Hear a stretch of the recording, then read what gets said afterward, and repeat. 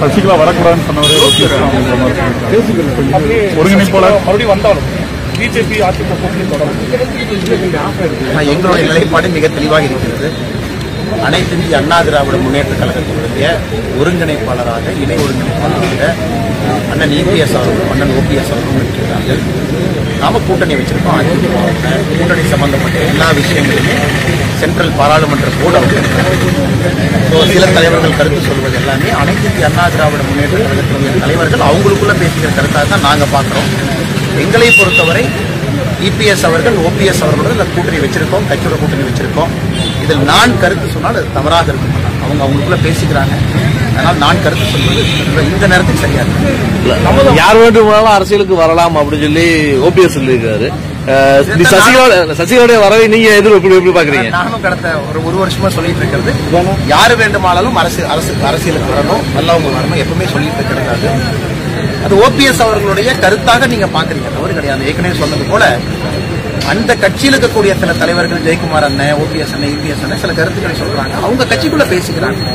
But அதுல வந்து நான் உள்ள பூந்து எங்களுடைய கருத்தை சொல்லுவது இந்த நேரத்தில் சரியாக இருக்காது. கமல அம்மால உங்களை பத்தி புகழ்ந்து இன்னைக்கு ஒரு தலையங்கமே வச்சிருக்காங்க. இது எப்படி பாக்குறீங்க?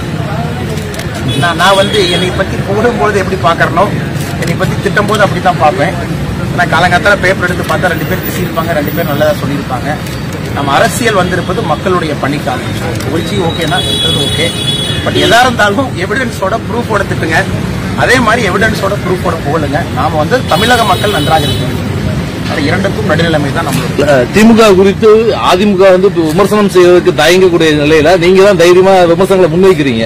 ஆனா அதிமுக வந்து விமர்சிக்காமல் விமர்சிக்கக்கூடிய உங்களை வந்து முன்னிறுத்துவது அதை எப்படி பாக்குறது அதிமுக அவங்களும் நிறைய விமர்சிக்கிறாங்க. நான் முந்தானத்து கூட பார்த்தேன் நம்முடைய முன்னாள் முதலமைச்சர் ச- சட்டமன்றத்துடைய எதிர்க்கட்சி தலைவர் அண்ணன் யூபிஎஸ் அவர்கள் நிறைய விஷயங்கள் கேட்டிருந்தாங்க.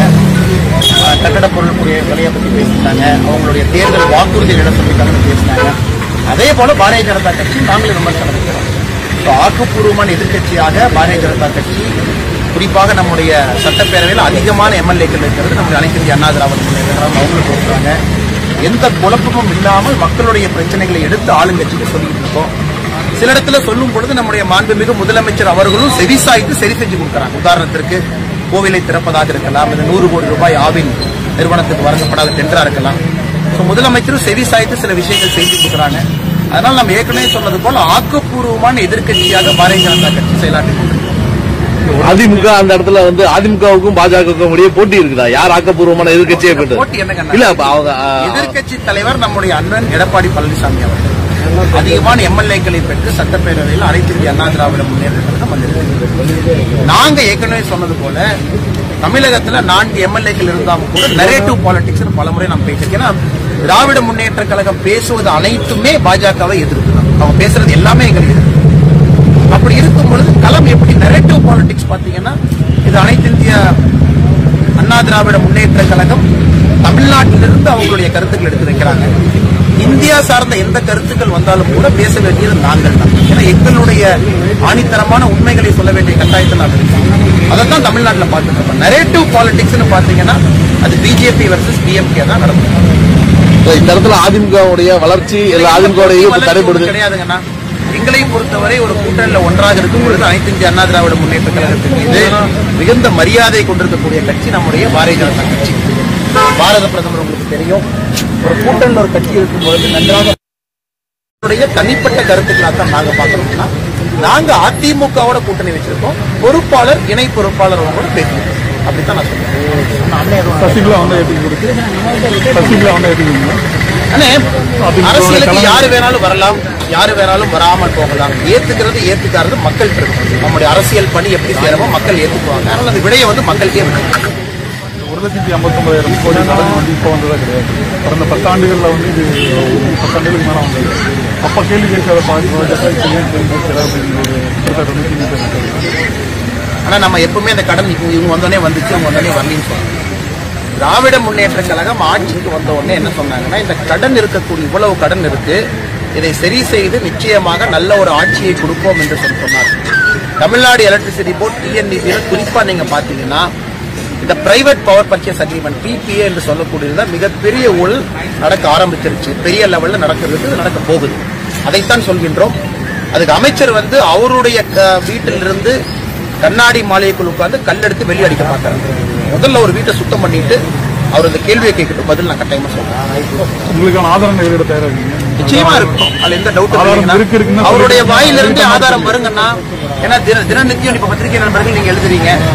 பீரியாடிக்கல்ஸ் நீங்க எழுதுறீங்க. நிறைய ப்ரூஃப் நீங்க எழுதுறீங்க. இந்த கம்பெனியை பத்தி அனலைஸ் பண்றீங்க.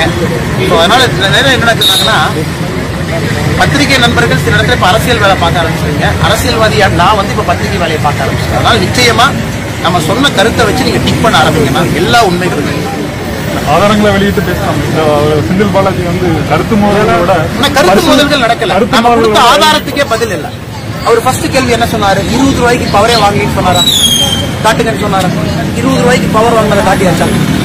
காட்டிக்கிட்டே தான் இருக்கும். இல்லைன்னு எதுவுமே கிடையாது. அதனால் அவர்கள் வந்து ஒரு பெரிய ஒரு விஷயம் நடக்க இருக்கிறது நடந்து கொண்டிருக்கிறத நம்ம சொல்லிட்டு இருக்கோம் எதிர்கட்சியாக செந்தில் பாலாஜி அவர்கள் முன்வைத்த எல்லா கேள்வி இருபது ரூபாய்க்கு வந்து நாங்கள் வாங்கி மாதிரி கொடுத்தாச்சு. அப்புறம் என்ன வேற என்ன ஆதாரம் வேணுங்கிறாரு? பிஜிஆர் எனர்ஜியை பத்தி நம்ம சொல்லியிருக்கோம். கோர்ட்ல போயிட்டு இருக்கு எங்க போயிட்டு இருக்கு நீங்க பாருங்க மூணு மாசம் கழிச்சு. அதனால ஆதாரம் கொடுக்காமல் யாரும் பேசல ஆதாரம் கொடுத்து தான் பேசுறோம். அதனால அவங்க சுதாரிச்சுக்குவாங்க. முதலமைச்சர் அவர்கள் நிச்சயமாக தமிழ்நாடு எலக்ட்ரிசிட்டி போர்டு மேல கண் வச்சு இந்த அமைச்சர் மீது நடவடிக்கை எடுப்பாருங்கிற நம்பிக்கை எங்களுக்கு. சொன்ன எல்லா இடத்துலயுமே முதலமைச்சர் வந்து கவனம் கொடுத்திருக்காரு.